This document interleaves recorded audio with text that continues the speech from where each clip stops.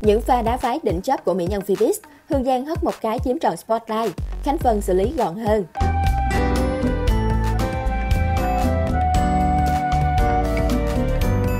Wanna be on top.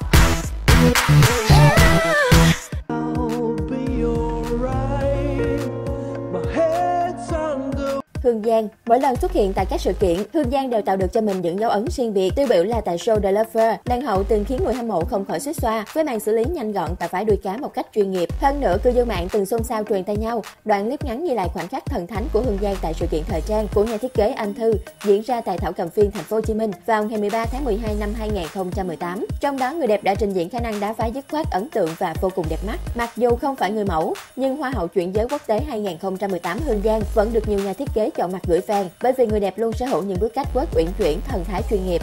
Nguyễn Trần Khánh Vân, Hoa hậu Hoàng vũ Việt Nam 2019 Nguyễn Trần Khánh Vân không chỉ gây ấn tượng với visual đỉnh của chớp, đúng chuẩn nữ hoàng sắc đẹp, cô còn ghi điểm mạnh trong lòng khán giả bởi những bước cách quất đầy uyển chuyển. Không những thế, nàng hậu 9X còn khiến người hâm mộ không khỏi thích thú với những màn đá váy mượt mà. Được biết Khánh Vân từng xuất hiện tại sự kiện khởi động cuộc thi Hoa hậu Hoàng vũ Việt Nam 2022. Người đẹp gây chú ý khi diện chiếc đầm đẹp mắt lấy cảm hứng từ chiếc vương miện, nhưng có phần sẽ tà hiểm hóc và khiến cho nhiều khán giả lo lắng rằng cô có thể gặp tình huống hớ hên bất cứ lúc nào. Tuy nhiên, nàng hậu sinh năm 1995 đã nhanh chóng lấy lại tự tin, thể hiện cú đá váy khéo léo, tinh tế đầy dứt khoát. Sau nhiều năm hoạt động, kỹ năng cách quất của người đẹp ngày càng hoàn thiện hơn. Đặc biệt dân tình còn chú ý và khen ngợi động tác của cô, có điểm chung với Hoa hậu Hương Giang, cả hai đều vô cùng đẳng cấp.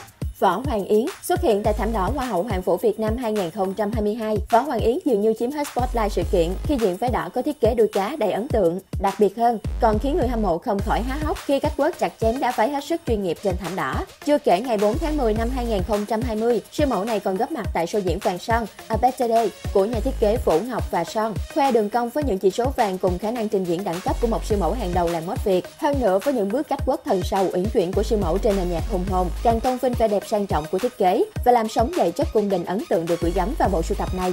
Tại đây, Võ Hoàng Yến cũng không quên xuất chiêu màn đá phái huyền thoại với một thần thái quyền lực khiến người xem không khỏi vỡ òa.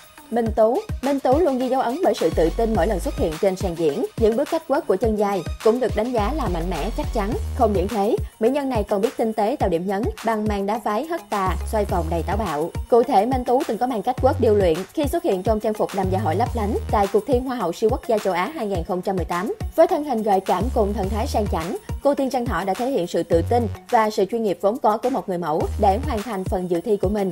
Cụ thể, huấn luyện viên The Face mùa 2 thực hiện kỹ thuật đá đuôi váy một cách nhẹ nhàng nhằm tạo được một đường đi đẹp và không bị vướng víu. Chỉ trong khoảnh khắc nhỏ, Minh Tú đã khéo léo tạo cho mình những bước đi thu hút và ấn tượng. Khi nói đến những mỹ nhân Việt sở hữu những màn đá váy đỉnh chớp thì không thể thiếu siêu mẫu Minh Tú. Được biết, người đẹp xuất thân là một chân dài chuyên nghiệp, từng giành giải thưởng danh giá về người mẫu như Asia Next Top Model 2017, Hoa hậu siêu quốc gia châu Á 2018 và Top 10 Hoa hậu siêu quốc gia 2018. Làng mốt Việt ngày càng phát triển, điều đó đòi hỏi mỗi chân dài phải tìm cho mình phong cách trình diễn độc đáo để có được chỗ đứng vững chắc. Chính vì vậy, những mỹ nhân Phoebus như Hương Giang, Khánh Vân, Minh Tú hay Võ Hoàng Yến đều rất thành công trong việc tạo dựng nét đặc trưng trong cách các quốc.